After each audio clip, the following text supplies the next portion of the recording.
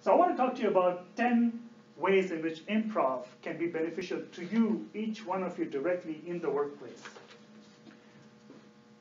Number one, improvisation teaches you how to control your energy.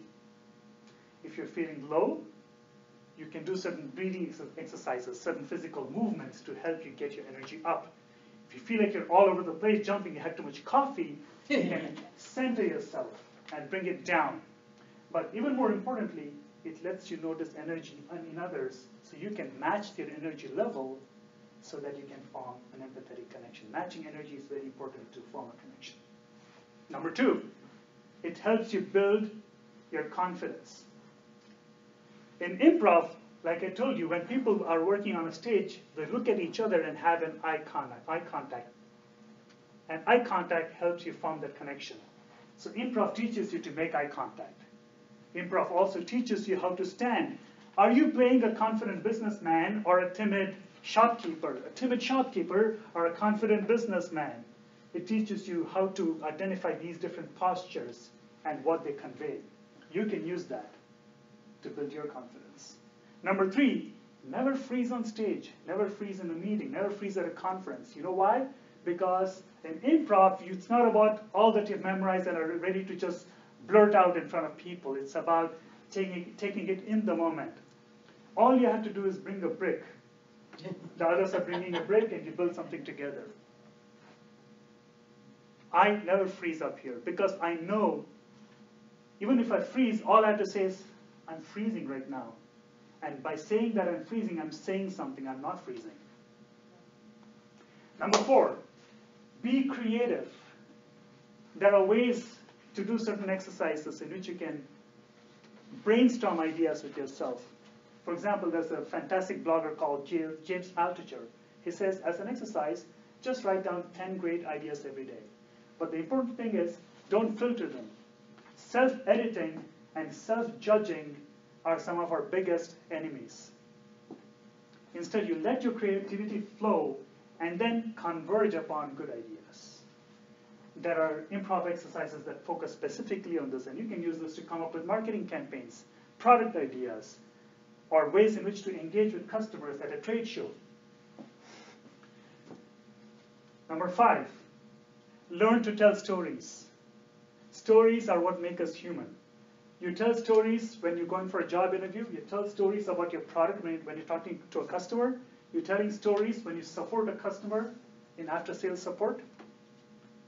Learn to tell stories because facts are for the mind, stories are for the heart, and we make decisions with our heart. Number six, it will train you to look for opportunities. There's something called the reticular activating system. What that means is if you have a goal and then you train your mind to look for opportunities to get to that goal, your subconscious mind is looking for opportunities. So training your mind to look for such opportunities is part of improv because you have to look for opportunities to build something together with your scene partner. You can do the same at work.